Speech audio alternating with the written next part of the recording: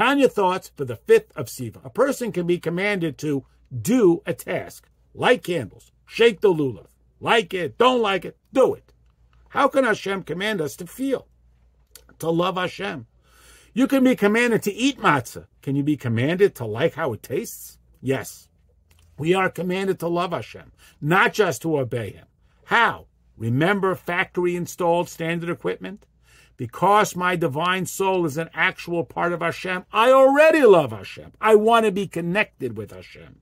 My job is to dig that intuitive love out of the clutter and let it do what it naturally does.